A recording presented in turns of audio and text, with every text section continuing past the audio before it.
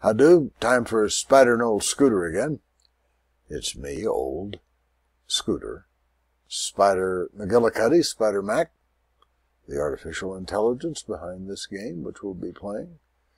Um, this edition is the In Defense of Science Fiction edition. So we're going to pop right into the game, play a few hands. Yep. Want to talk about radio news? Got a lot of stuff to talk about tonight. Don't know why. Sort of stacked up in my mind. So let's get on with the game. Quickly noting that I'm plugging two books, A Reluctant God and Ms. A Reluctant God 2014, a tome, if you will, and Ms. Uh, fun adventure story. If you like science fiction, if you like archaeology, uh, and so forth. Okay, let's get on with the game. Boom, new game, you betcha. Two suits. Now, I'll um, do what I can to play this game while I'm talking. Frequently, when I'm just jabbering away, my um, concentration wavers, I make mistakes, I fail to see obvious moves. I'll try to keep all that stuff at a minimum. As, um, minimums are good. Know your minimums, particularly if you're flying an airplane. I was a pilot for a long time. I can talk airplanes, not modern state-of-the-art airplanes, although I do read Aviation Week and Space Technology faithfully. So I kind of keep up, but I could no more fly a modern aircraft than I could um, drive a brand new car with all the stuff that's in brand new cars. It's actually happening. Maybe I'll tell you about it one of these days. So this game is not going much of anywhere, so neither will I. I'll just take another deal. I don't want to get uh, too engrossed in the game, even though it's an engrossing kind of game. It's my very favorite time killer, Spider Solitaire. I hear it's catching on all over. It's been around for quite a while. This is the uh, Macintosh, the Apple default version. As I have said ad nauseum, one of my favorite. I mean, that's quite a lot too much when you get nauseous about it.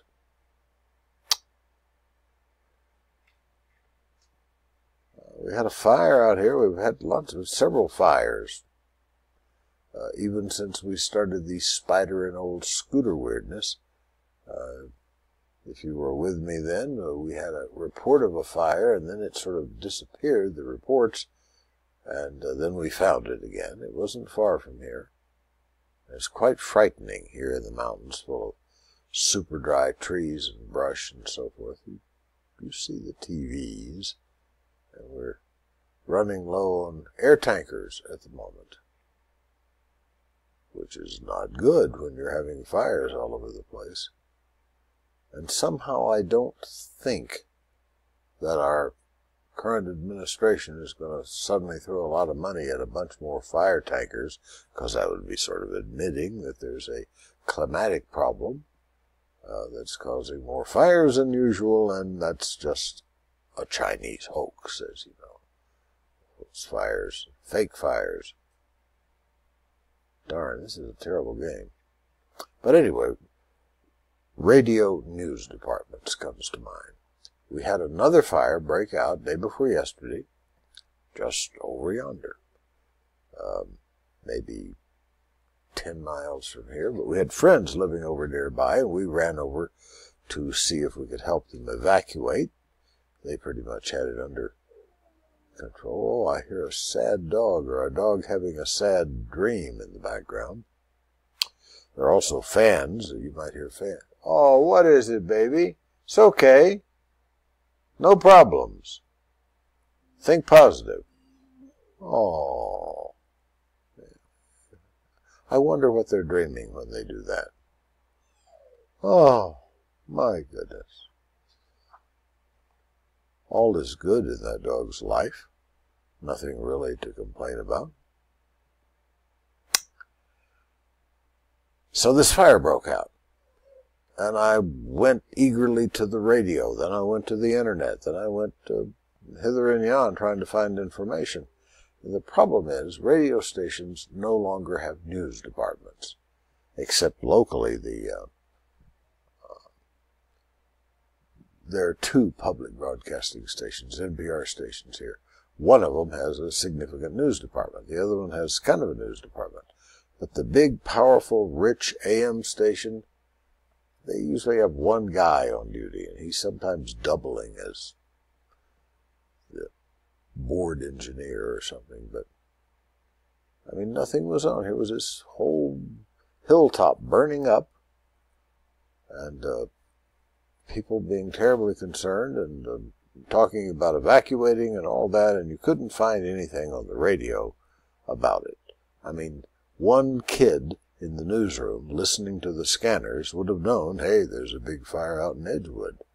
And it would have been on the radio, and we would have all been quite satisfied. But in this new era of profit is everything radio stations, they don't have news departments because they're kind of expensive. You have to have people.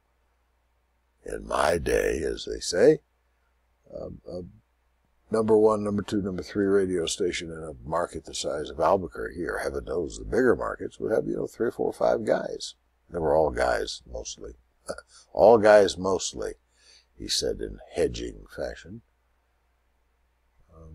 as a news department. They were watching the wires and the scanners and calling contacts and running beat checks and doing all that newsy stuff. And um, it doesn't happen anymore. So there was nothing on the radio about this hilltop burning up right on the edge of a, a fairly important exurban town. Maybe 15 miles outside of Albuquerque. A lot of people living there. It's got a Walmart. You know, it's a town. Uh, scary fire and nothing on the radio. The times they are a changing. Finally, some information got out on some of the websites, and finally the news guys got their helicopters up and took pictures of it. They could have used generic fire pictures, but for all the good they did, but eh, I should complain. Radio was good when I was in it. Lots of news guys. Talked myself into a, a dither there and probably missed half a dozen moves. But I said the name of this was going to be in defense of science fiction. Has nothing to do with fires, has nothing to do with radio news departments, has very little to do with reality. It's science fiction. You know, I, both of these books that I shamelessly plug here, Ms., Time Tripping with Amazing Females, and A Reluctant God. Small g. So sci-fi is obviously of significance to me, but I got this articulate, fun, wonderful letter from this guy who doesn't like science fiction, an old friend of mine. And uh, and we had a little tete-a-tete about it. I wrote a little response to what he said. I really admire what he said. He's a good writer. Expressed himself with articulate ferocity, you know, one of those guys. And I'll read it to you in a minute. Then I'll read you my response. And I'm sure that will drive you to distraction. It's Distraction, Oklahoma. Drive to Distraction and find out what's not happening.